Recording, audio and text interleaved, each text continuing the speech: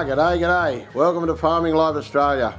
Today's video is an in-depth look at the Perla Barb 62cc version 4 chainsaw from Jono and Johno. And I will include a comparison between the version 1 61.5cc saw just to show you that these saws are completely different.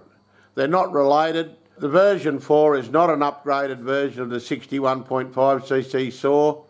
It's a totally different saw, which I believe is based on the Timber Pro saw. In the video I will assemble the saw, show you what you need to do to get it going, and cut a load of firewood, and at the end I'll give you my impressions of what I think of this saw. So stay till the end and see if I'm a happy boy or sad, sad, sad. Bit of a disclaimer, I'm not paid by Jono and Johno for these reviews. I just love toys. I don't have a financial interest in Jono and Johno or any other chainsaw company. I'm not going out with his sister or married to her or anything like that. All statements are just my impression of the machine. However, I am going to do an update video in a few months' time once I put some hours on these machines and really have a good look at how it went and what it did and what went wrong, if anything. I have done an unboxing video of this saw so if you'd like to see exactly what you get in the box, just have a look at that video and I'll put a link in the description. Just one other thing before we get start playing with the saw. I know it's not very manly and even if you got to hide in the dunny to do it, read the bloody book. It'll save you a lot of headache. And incidentally, it's written in English that you can read. Here's the two Perla Barb saws side by side. This one here is a 61.5cc saw and this is a new saw I bought which is 62cc version 4 saw. And straight away I can see some big differences. And one big thing I see straight away is if you look at the chain brake handle there, it has a connecting point here and here, which I think is very desirable. On the 61.5cc version 1 saw, it is only connected on here, on one side. And it, it works, and I've had no trouble with it but I would far rather have this. This is this this has a lot more movement in it, whereas this is this is quite firm. On the 61.5 cc saw, the filter is a screen type. You can get it off just by pulling it off, and it's sealed via a rubber gasket in there. The design is that the rubber gasket seals on that surface. I'll just move the rubber gasket around so you can clearly see what's going on in there.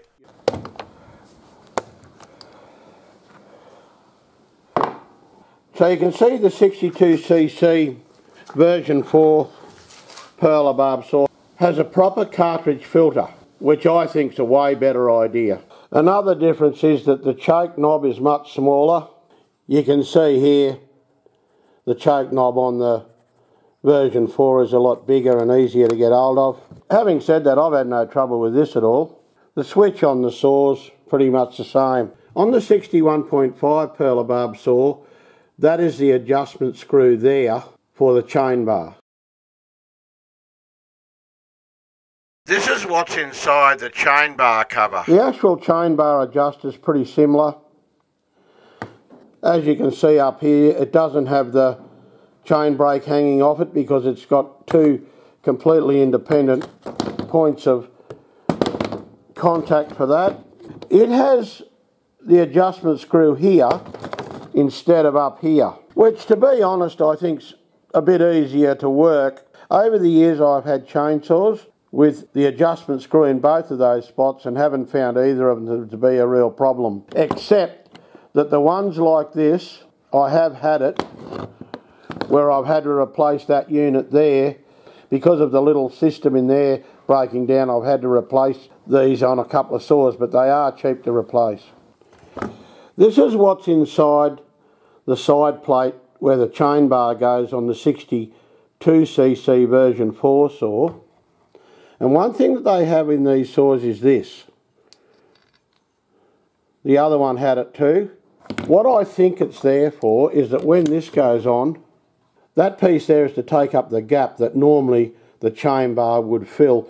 So before you go any further, remove that. You don't want to leave that on and try and put the chain bar and chain on because your chain bar can't sit straight and it'll bugger up everything. The next thing I'm going to do is remove the packaging on the bar and see how it fits on the saw. When you get your bar, you'll see some bar maintenance tips on a little slip of paper. If you're going to get any life out of your bars, please take notice of these tips, and in particular this one, which says, clean out your oil hole. I had a bloke come the other day and he said, oh, I'm having trouble with my chainsaw, could you help me? Both the oil holes were completely blocked and the paint was burnt off the bar from it getting that hot. All right, just for giggles, I'll put it on with the riding the right way up for starters. If you look on the chain, it tells you all the particulars about the chain, how many links it's got, and it also tells you the size file you need to use for it. It's important not to use the wrong size file. Okay, so when you do this, just make sure that in there the chain is on the driving dog. Just lay your bar in there and let it rest on the clutch. Then get your outside cover and have a look if it's going to line up with the hole for the adjustment dog. When you put this on, just put it on loosely and see if the adjusting dog is going to go in in the right spot. And in my place, it's not going to. So I've got to wind it the right, correct way. And when it's in the right spot, that should fall into the hole. Okay, like that. Put these nuts on a little more than finger tight, or finger tight if you've got strong fingers. You see I pushed that down. Now, all you need to do now is adjust the adjuster and tighten up the chain. So let's go clockwise and you can see now the chain's very tight. Push your bar on the tip up as far as it'll go when you set your chain. That, that's too tight for starters. I'm going to do it just a fraction looser. And what I'll do is I'll just I'll just run it round with oil in it a few times and then I'll adjust it again. New chains always take a bit of adjusting at first to get them right. Yeah, that's fairly loose, but I'd rather have it loose and tight when it first starts up. And I will adjust accordingly after I've used the saw. Alright, we're getting down to the wire now, nearly start up time. Just one last job to do before I endeavour to start the saw. I have put fuel in it and chain bar oil. We'll just get on to the very last step before I try and start it.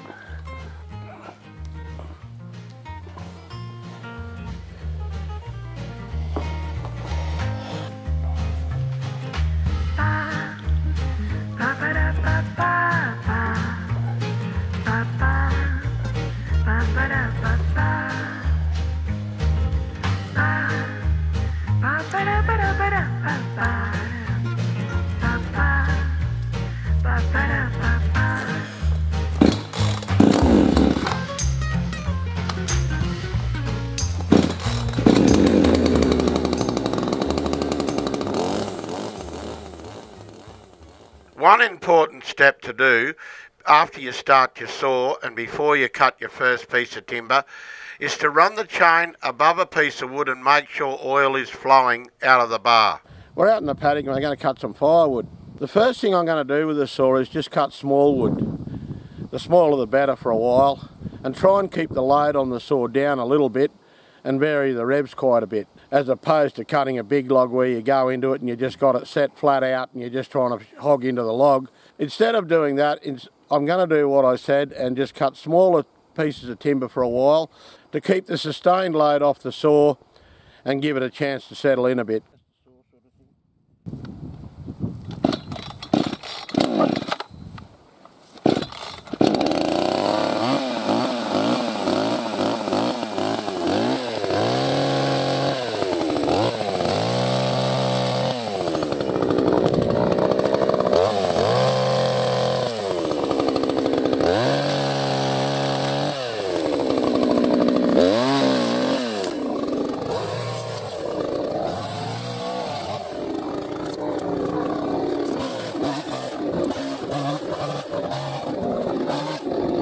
You can see already the chain's loosened up.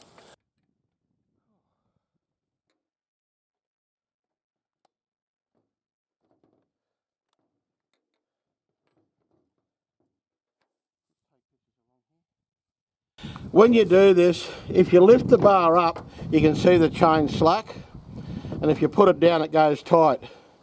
Because the pressure is up when you're cutting, you should always lift it up and keep lifting it up while you adjust the chain. So you can see now, it's, it's done up tighter, not as tight as I'd like.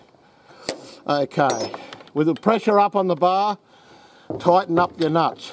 With these nuts, make sure they're good and firm because if they're not, you're putting a lot of pressure on your adjusting system when you're cutting.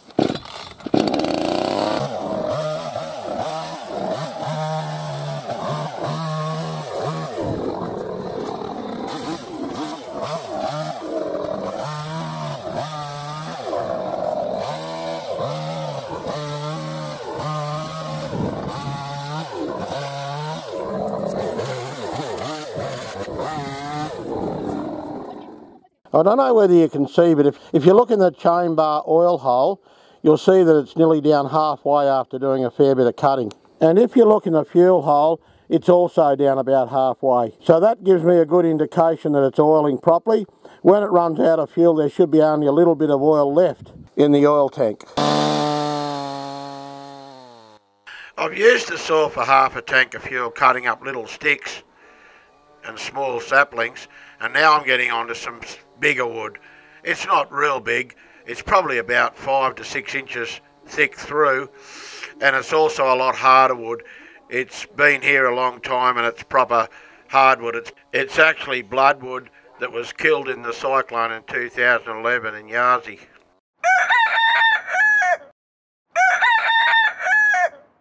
The last time I used this saw was 48 hours ago and I've filled it up with oil and fuel and sat it on this rag to see whether I've got any leaks out of the fuel or oil tank because it is a fault with a lot of Chinese saws. That makes me happy. There's nothing worse than a saw that bloody leaks oil everywhere.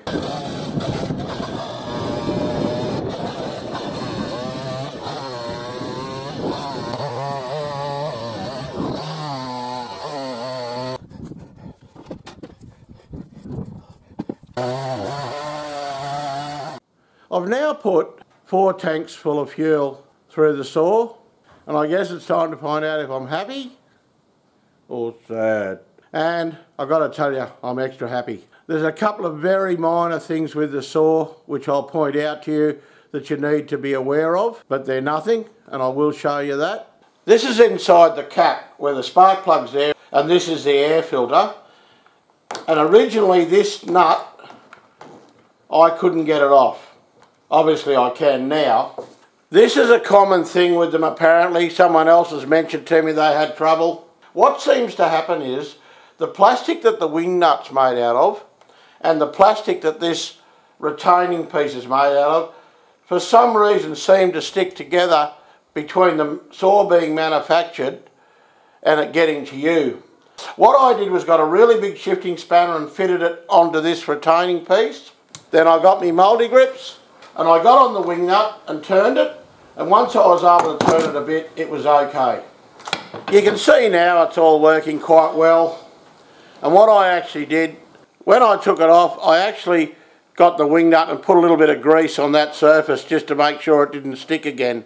The only other negative thing that I found was that where this spanner is retained in the handle of the saw I don't think it's retained quite well enough and I did have it fall out with vibration and I had to go and look for it.